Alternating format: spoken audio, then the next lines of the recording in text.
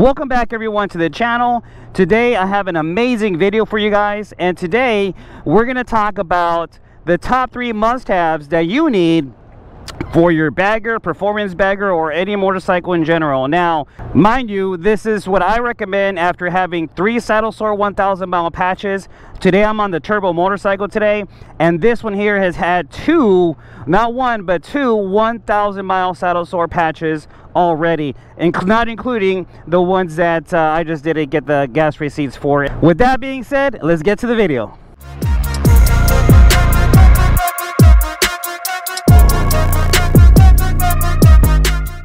Okay, so the first item on the list is your grips. Now, on this um, section here, I'm gonna add the grips and the levers, right? Now, I'm doing that because, you know, I think it's very important to have both of them kind of match up to whatever riding style or comfort level you want to, right? So here, I have my first set of aftermarket uh, grips that I bought. This one was the Avon one, and I really liked it. It was really good. As you can tell, it's still it's still good.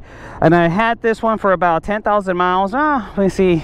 No, I'm sorry, about 14,000 miles on this one here, on this set. And I liked it, as you can see, it's, it's great. The only problem I had was that it was just too, too thick. The other levers that I had before these were the uh, uh, Power Stand Racings, the PSR ones. I had those for about 7,000, eh, about 6,000 miles or so. Um, initially, I liked them a lot. I have a video on that, so go back and check out my videos. Initially, I liked them a lot, but the problem was that the adjustable knob, like here, it's, it's just like a, it's a knob as well, but it's just, it's right here, right? It's within the, um, the lever here. The PSR ones, it had the notch that came out. So what happened was when I would, um, fully, you know, you know, uh, uh, squeeze it, squeeze in the clutch, I don't know if you can see here, but it was hitting this housing here. So what does it wasn't letting my clutch fully fully engage back. As you can see with these oberon levers i actually didn't mention that i should mention that. Excuse me these are the oberon levers. I was able to just squeeze it back and and i get no interference here. So um so yeah so those are the clutch levers that I have. Now back to the grips right? So th these here were a little bit just too thick and I went to uh, I changed to these here which are the performance machine ones and I really like them like like look I hope it comes out in the video but look at the the the, the difference in the thickness between the performance machine grips and the Avon grips. So they're both good it just depends what application you want you know what I'm saying? And um, so anyhow so I switched out my grips to the performance machines uh, these here. Now there's some wear here. The other nice thing i like about these is that um, basically you can just cut this uh, grip part out and just slide one on over and that's it. You have new grip. So i really really like that part of performance machine grip. So and all of this is personal preference and again it's my experience off of 26,000 miles within um, 17 months on this performance bagger here. To close out on the grip section of this video here again the grips are very important because it's your comfort level. You know it's your first point of contact or one of your three points of contact which is your hands your butt and your feet. The second must have for your performance bagger or bagger or motorcycle is a comfortable seat. Your seat has to be comfortable right? I don't care if you do short distance or long distance riding like i do but the seat is probably out of the three things that I'm gonna cover, that might be the most important thing I think in my opinion, right? Because you gotta think, your your whole weight is on your torso, right? And you put it on the seat here. And then if you want to kind of maximize your comfort, I got this backrest here, right? And I really like it. On this seat, on this setup right here, I have, I want to say, let me see my motorcycle has 26,410 miles and I got it installed when it was you know I had maybe 500 miles. So I got about 25 and a half thousand miles on this seat here within 17 months y'all. So for me this it has been a super comfortable seat. Uh, it still looks new. Look I, I I you know it's still padded and I really really like it. Now the name of the company is called Bad Boyz Cyclez if you are interested in this seat, this is their Freedom Series seat. It's actually a combo because it has um, the passenger one that, that you can get here as well.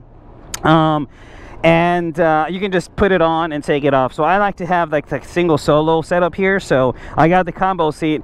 If you're interested in this seat or other seats that they have there at badboycycles.com use my code 2147 crew and that gives you 10% off of your complete and total purchase. So again bad boy cycles is the seat that I have and I think I, I'm just going to reiterate everybody if you want comfort and you don't want back problems you know i'm a 45 year old man and it is what it is guys. We, we you know we wear down. We wear down. So i like to have comfort as much as i can. I rode it just most recently to um, Traveling Tall's run to the hills three a thousand miles there a thousand miles back and then a little bit of you know around Tail of the Dragon and I even had some fun with it on the track. So i definitely recommend this seat.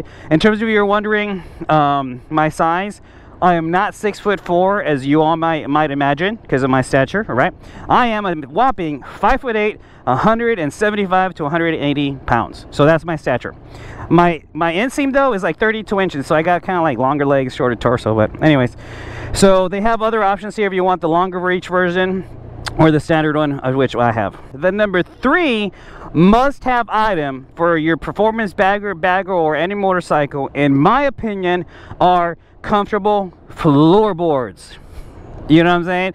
Why floorboards? Well, it really depends. Again, this is all subjective. It depends what you want. But for my personal experience, when I'm on those long road trips, I like to have some more real estate. You know what I'm saying? I obviously took off the stock ones.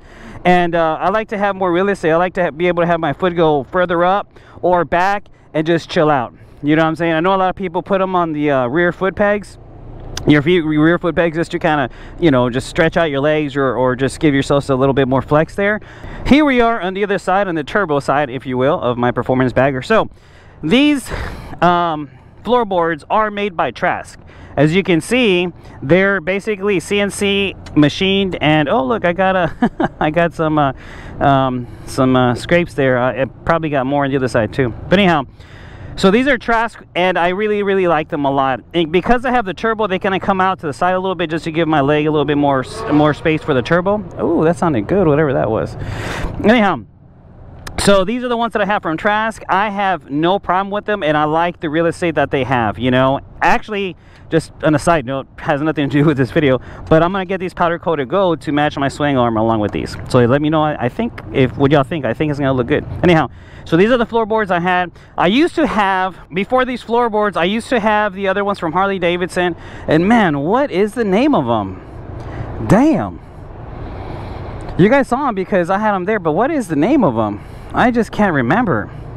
All right, everybody, this GoPro died. So because it got too hot, so I'm just gonna talk to this camera here. So anyhow, they were very, very, I hope you can hear me on this camera, by the way. They were very, very narrow towards the back. So when I was trying to get my foot back to, um, to just kind of like, you know, have more real estate, be more comfortable doing my rides, it, uh, it kind of didn't work out for me you know what i'm saying so that's why i went with these Trask ones and i really like them a lot so if you want Trask performance stuff they're really, really good. If you're a military veteran, you get 10% off your whole purchase, with the exception, I believe, of the turbo kits. But give them a call, talk to my man Eric, and they'll definitely take care of you. And if not, they'll answer every single one of your questions. All right, everybody, that does it for today's video. I hope you really, really like it. Again, these are the top must-haves, in my opinion, for your performance bagger, your bagger, or any motorcycle in general. This is the end of the video. I'm gonna throw in some drone shots in here with some music. So again, nothing but love and respect to all of y'all. Please don't forget to give this video a good big old like and a comment, even if it's just a little thumbs up as a comment, and of course, subscribe. So, to the next video, y'all be good.